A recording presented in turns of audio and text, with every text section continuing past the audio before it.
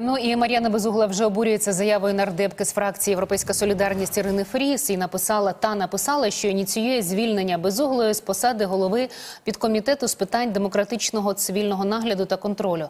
Вона наголосила, що політики мають припинити дискредитацію військових, бо питання стосуються спроможності держави протидіяти не лише зовнішньому ворогу, а й внутрішнім дестабілізаціям.